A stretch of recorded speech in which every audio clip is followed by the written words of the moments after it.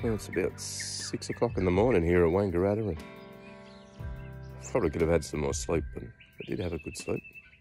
But I just want to show you this just uh, stunning, stunning sunrise.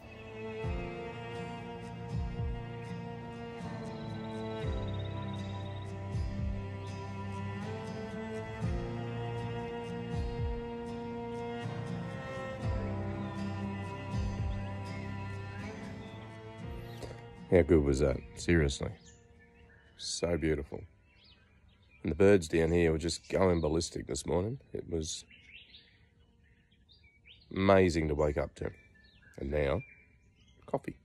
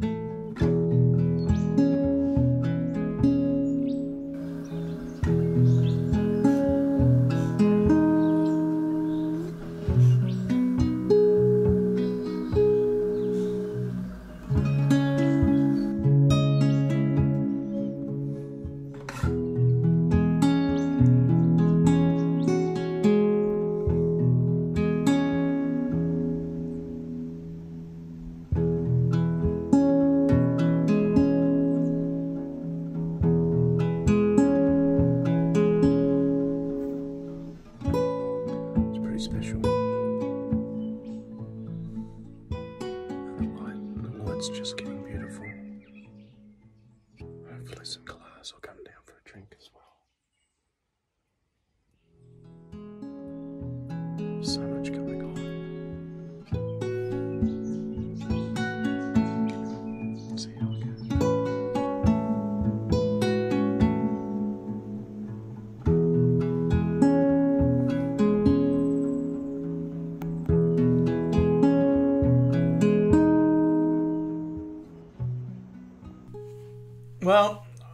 home now from my trip to Wangaratta South. Uh, went down to a friend's place down there to, uh, well, to help him plant some trees, set up some uh, wildlife monitoring cameras, and uh, yeah, just generally help out around the place. And I spent a bit of time in his bird hide there, which uh, is, is absolutely awesome. So, just going to quickly run through some of the uh, the birds I photographed from the bird hide. And this is a, a delightful red rump parrot. This is the male. You can just see that red red bum. Uh, it's uh, yeah, absolutely amazing.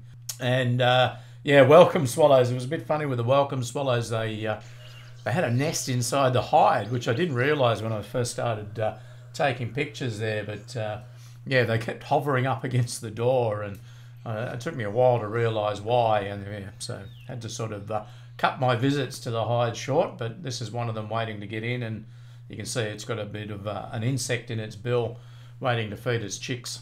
Uh, a red uh, red-browed finch that uh, came down to have a drink.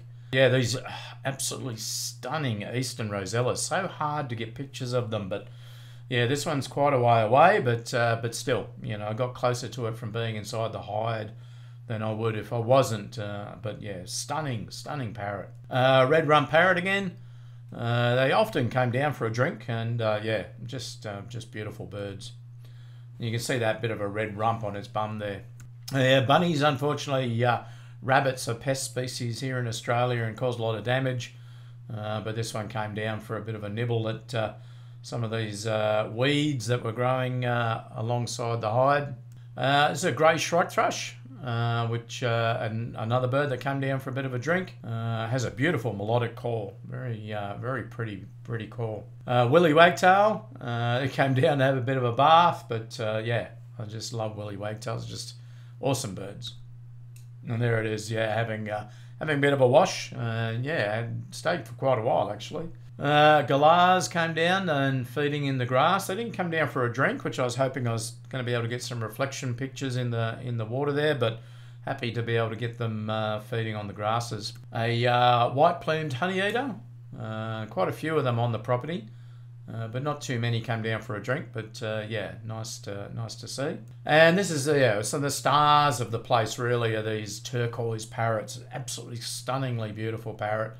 And uh, yeah, lucky enough that uh, we put a hollow up uh, last year, and they've started nesting in there, and they've got chicks uh, in the hollow. This is the female going in, and uh, yeah, she's fed fed them, and now she's coming back out again. But and here's the male. I mean, look at those colours. They're just absolutely stunning. It's just a beautiful parrot. Not very big and incredibly camouflaged. When it's on the grass, um, you can just, uh, yeah, you can be walking around and not even see them and then they suddenly take off. But yeah, the sun came out and it was sitting on top of the uh, star picket that holds the, the nesting hollow up. And you can just see that, uh, yeah, gorgeous, gorgeous yellow breast on it. It's just stunning. And those blues and purples on the forehead. And uh, yeah, he goes to the hollow and often feeds the female who's inside the hollow. And uh, yeah, and then he came down on the ground nearby just uh, to have a feed himself, or whether he was filling up again to go back and feed the female. But he did take off shortly after that. And then just as I was leaving the property to come home, this dusky wood swallow uh, was sitting on a barbed wire fence there and seemed quite um, tired. Like I, I pulled the car up to open the gate to get out and I didn't want to leave. Uh, and then I realised I could see this uh, bit of uh, hair from the cattle in the property next door uh, stuck in the barbed wire fence, and it was plucking at that and taking it up, and obviously had a nest nearby. So, yeah, that's a great sign as well. So, yeah, so I had a really awesome time at Wangaratta South, and uh, thanks for watching, and uh, I hope you enjoyed the video.